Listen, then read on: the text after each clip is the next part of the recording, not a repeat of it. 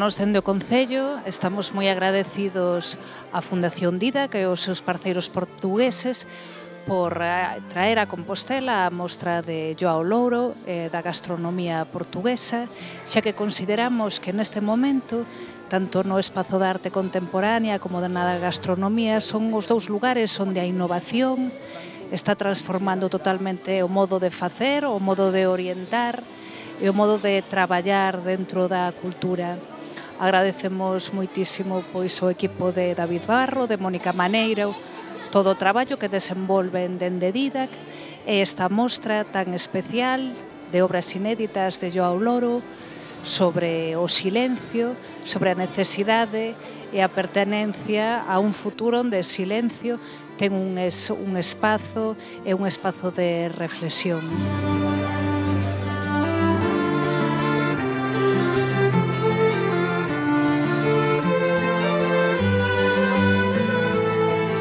exposição que parte de um convite que é feito por, pelo David e que foi pensada para aqui. Aqui abriu-se um novo caminho, que é um caminho que vem das blind images, não é? Do, da revisão de todo o universo visual que nunca termina e que nunca vai terminar.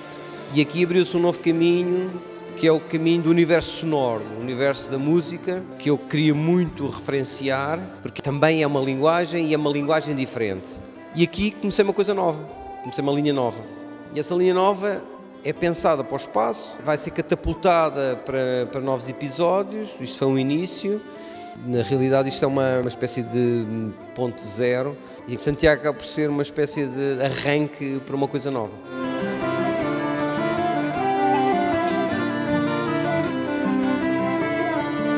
Este encuentro, gracias al chef eh, Marco Gómez y a Fernando Santos, eh, un entusiasta y parceiro desde, desde hace muchos años de muchos proyectos, pues resulte vital para, para esa línea que quiere marcar eh, Didac de poder trabajar, producir, proyectar y entremezclar las distintas culturas, las distintas culturas que albergan una identidad, en este caso galaico-portuguesa, y que creemos que es el futuro para poder eh, relacionar y entender el arte contemporáneo, el diseño, la gastronomía o cualquier eh, proyecto de ámbito cultural.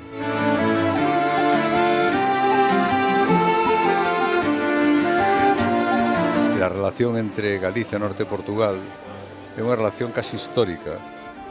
En campos como etnografía, e investigación histórica, antropoloxía, ven de atrás, do Seminario de Estudos Galegos, concretamente en Galicia. E agora é máis fácil porque entra por outras vías. A vía da arte, a vía da gastronomía, a vía das relaciones internacionales.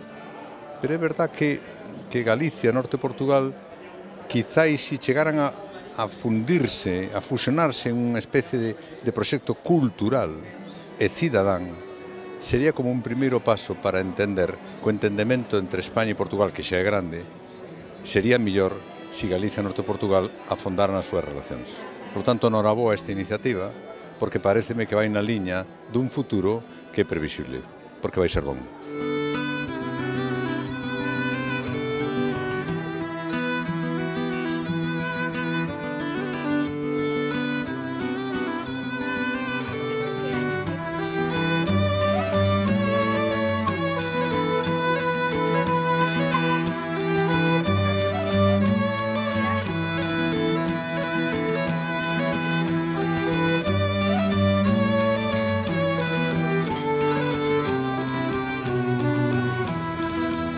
Bom. projeto Oficina vai para além fronteiras. Viemos cozinhar uh, aqui a Santiago de Compostela, neste intercâmbio aqui com o restaurante Tafona e com a Lúcia Freitas. Foi um prazer enorme estar aqui hoje no restaurante com a equipa fantástica que este restaurante tem, a apresentar o que melhor sei fazer, que é a cozinha tradicional portuguesa.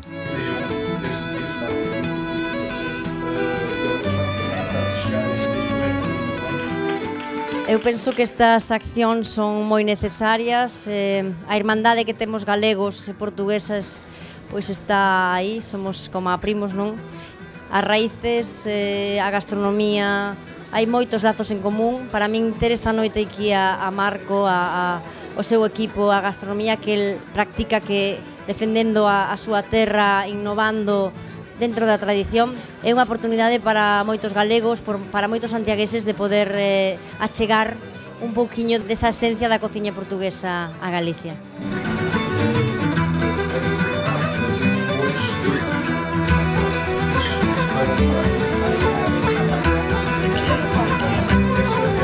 Pues la verdad es que ha sido una experiencia maravillosa.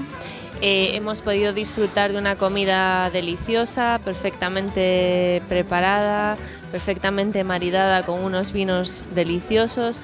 La compañía ha sido fantástica y en global pues la experiencia ha sido única.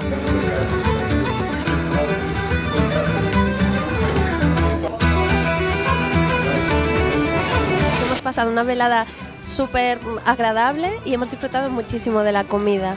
Ha sido una experiencia estupenda y hemos conocido gente muy interesante que nos ha hablado de Portugal y hemos profundizado. Em, yo desde luego estoy muy contenta de haber venido aquí hoy.